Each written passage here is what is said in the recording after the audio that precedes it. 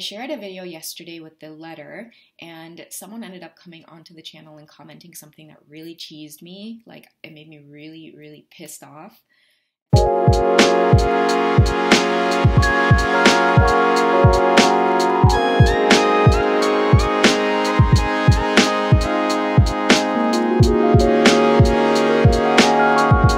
Guys, what's going on? It's Twintuitive717. I am back with another video. I hope you guys are doing incredibly well. Happy Saturday, family.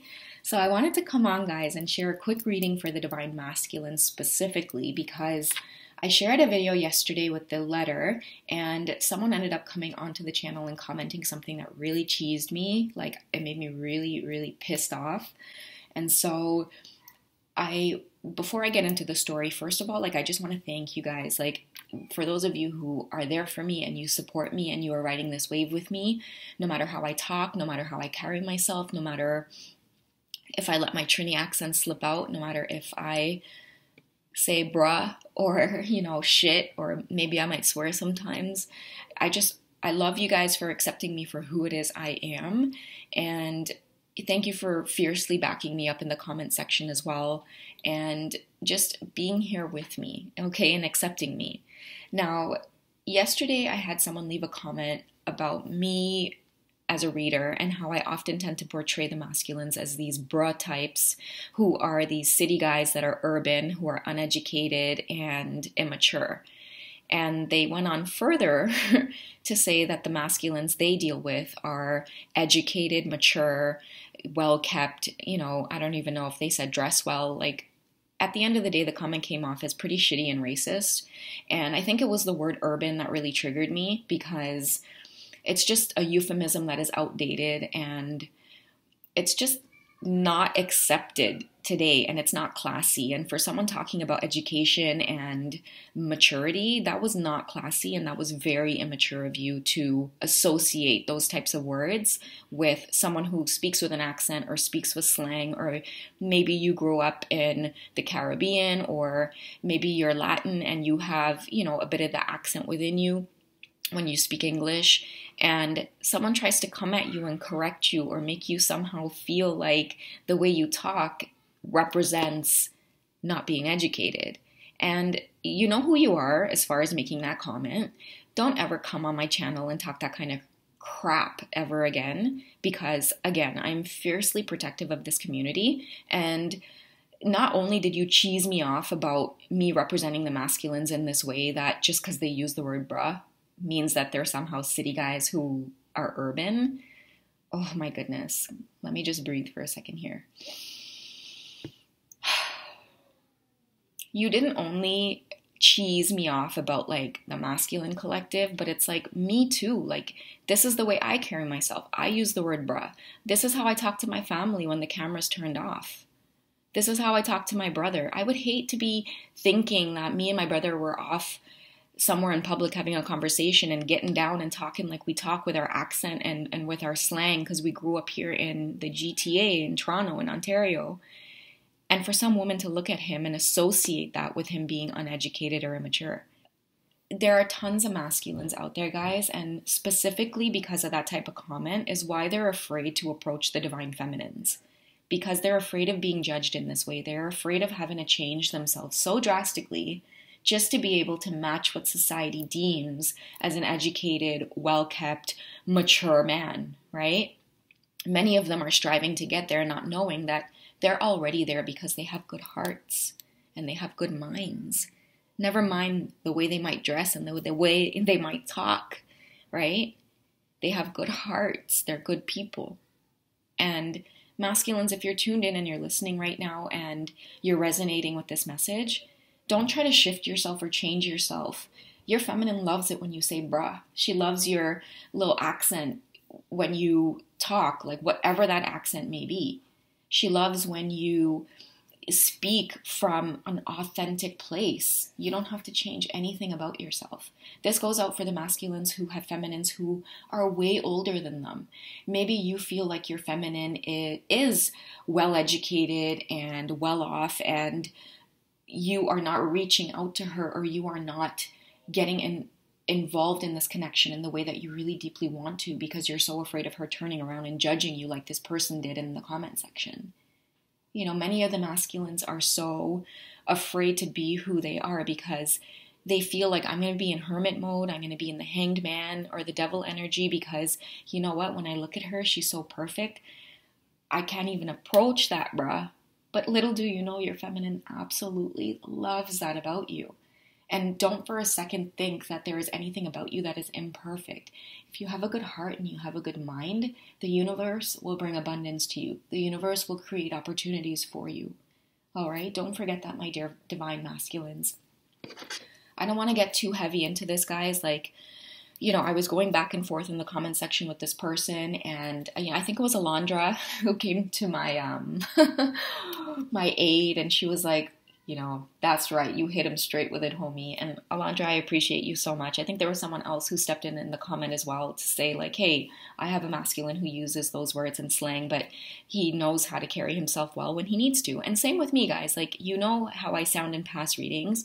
I know how to put on the voice and, and the accent to be absolutely perfect and sound absolutely North American and get through to as many people as I can, you know, but also at, at the same time, like I could talk like this too.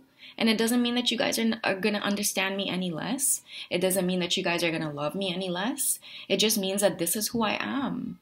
And I'm educated, I'm mature. You guys have felt that energy in past readings. And just because I might spit some slang or use the word bruh, it doesn't mean that my masculine is not educated or he's not mature. He's a beautiful, beautiful man. And shout out to my divine masculine too. I don't think I've ever done that on the channel. but um you know, shout out to my DM and for being the kind of man that he is and as beautiful as he is.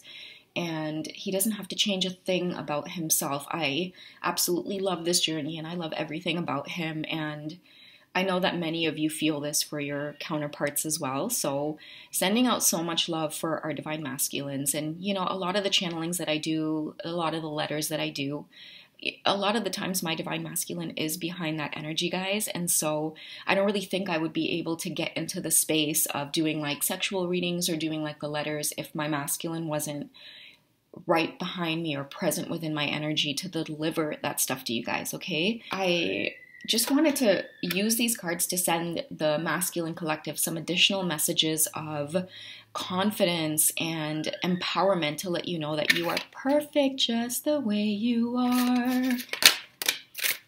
All right. Let's get a few and then I'll uh, put the cards out and I'll do like a nice reading. I, I love every card in this deck. It's messages from your guides, so I always feel like they're definitely um, divinely guided. All right, so this one popped out first because it says worry is a wasted emotion. And I feel like this is a personal message for all of the masculines who are in that energy of not approaching your feminine again because you feel like you need to do some polishing up and changing who you are and being more mature and sounding better and you're racking your brains trying to do this and the universe is like no eh, you're not supposed to change who you are at the core She's going to accept you and love you just the way you are. You are perfect, divine masculines. And don't let something silly like your accent or your use of slang or the way you dress, like, you know, feeling like you need to drastically change all these things when, if at the end of the day, like, again, you come with a very good heart, a very good mind, very pure and good intentions, and you like the way you dress, you like the way you talk. She loves it too. So don't worry about those things and don't worry about what society is saying and the kind of outdated beliefs that people might still be circulating in society. Just X those people out and know that this twin flame journey is leading you back to yourself first so that you can feel good and confident again in who it is you are. That's why we return back to all of this inner child stuff and, you know, our twin whenever we have conflict with them. It definitely forces us back to look at ourselves and it's like everything that you're worried about yourself that's like imperfect or you're feeling not confident about it don't worry. Acceptance. Acceptance is key. So make each day count.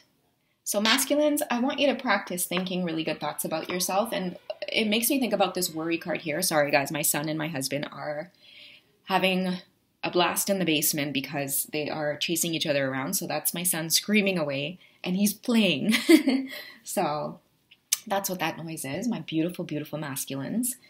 Um, so it kind of goes hand in hand with make each day count and worry is a wasted emotion. I feel like making each day count has a lot to do with when you wake up in the morning and you look at yourself in the mirror, maybe you and your divine feminine aren't talking at the moment or you guys are separate. I want you to look into the mirror and I want you to love yourself. I want you to realize that in this moment, you're perfect the way you are and you know that she loves you in this very moment. It's just you are on this journey of feeling like, I need to shift this, I need to shift that, I can't approach yet, I can't approach tomorrow. Like, you know, don't worry about when, what, how, why until you come into a place of self love and not worrying about the connection and more filling it with thoughts of what it is you actually desire and want, you know, that's when we can then get into a place of moving forward and maybe reaching out for communication. Because it's it's not only like the feminines here who are waiting around for communication. The masculines are also waiting around for communication as well. And they know at this moment they're the ones to initiate it but they're also waiting very patiently to gain that confidence back or to get some kind of divine guidance that talks about this very acceptance that they need to hear that is for them. The divine feminines love you and accept you just the way you are. I, I keep getting that message. And I think that maybe that person in the comment section, you know, maybe triggered me for a reading for a reason, sorry, so that I would do this type of reading and I would bring this kind of um, vibe and energy to the channel here because maybe a lot of the divine feminines are wondering what's the holdup. Well, guys, honestly, like it's comments like that that other women have made to them in the past or society has made them feel a certain way about who they are and it's just honestly like taken a toll on like their confidence and their esteem and then they come across their divine feminines and they're like i don't get it. How could she love me? You know and it's like she does. She loves your soul. It's not the way you talk. It's not the way you carry yourself. It's not whether or not you went to university or not. It's not whether or not you have like a tip top job or whatever the case is. She just loves and accepts you for who you are and is waiting for you to do the same. So that's why don't worry about catching up or trying to be something that you're not. Focus more on making each day count and accepting yourself and loving yourself for where it is you are right now and being grateful. Gratitude is such a powerful emotion and it actually opens up our eyes to all of the blessings that we actually do have right in front of us. Like the roof over your head, the fact that you have food to eat. You know, never mind how you talk and what it is you're wearing and whether or not you went to school. You have family around you, food to eat, a roof over your head, if it's wintertime and you have a warm home to go inside, that is abundance. All right. These are things that you need to feel grateful for and know that you are taken care of by the universe. You start feeling grateful for what's right in front of you. That is having that good heart and that good mind that we feminines know is in there within you. We see your heart shining so big, masculines, and we just want you to see it too. So X out all of these labels that society has given you and past karmic partners, maybe even your parents growing up, maybe friends, and see yourself for who you are. Learn from your mistakes. Maybe the mistake is not actually accepting yourself for, for who you are, you know? Maybe trying to change yourself, maybe talking badly to yourself when you have a moment to be in silence, you know, constantly trying to figure out how you need to change maybe quit worrying about changing yourself so much and realize that your thoughts are creating your reality. So, in order to shift your thoughts into very positive, high vibrational ones, start with gratitude. I promise you it works.